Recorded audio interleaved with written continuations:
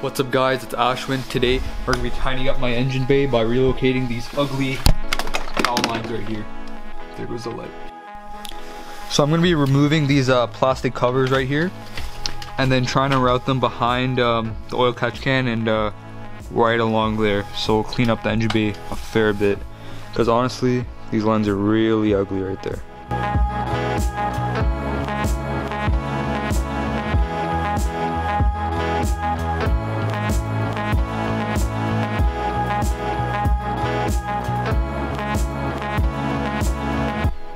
Alright, so now I'm gonna re completely remove the catch can so I can just get these wires behind it and uh, snake them right behind there.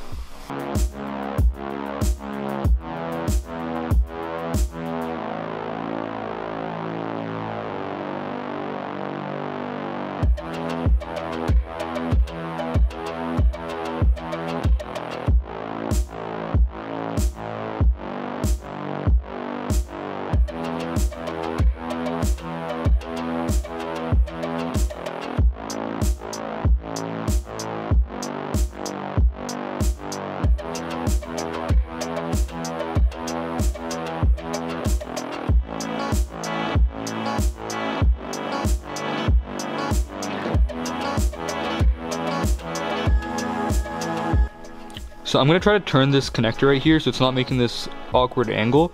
But before you do that, make sure that you disconnect your battery back here.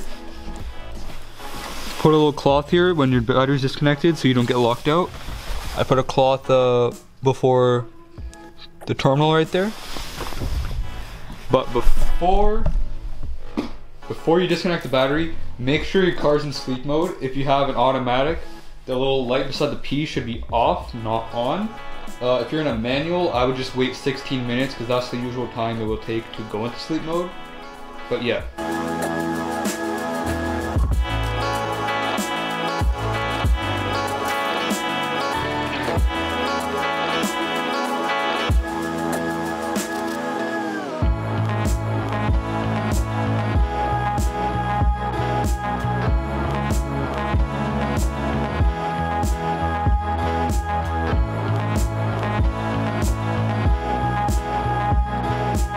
So using my really dull Dremel, I made a little cut right here to fit the wire to the side.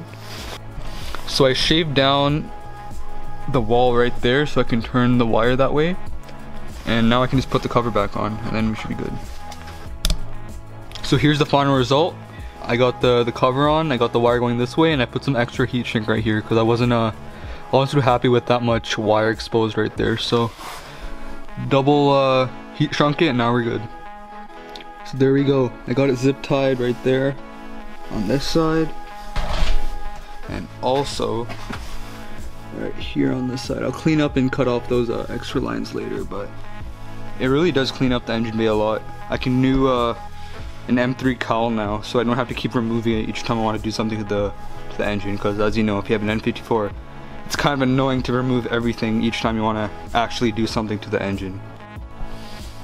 Alright guys, if you found this video helpful, please give me a thumbs up. Subscribe if you want more content on this uh, BMW 135i.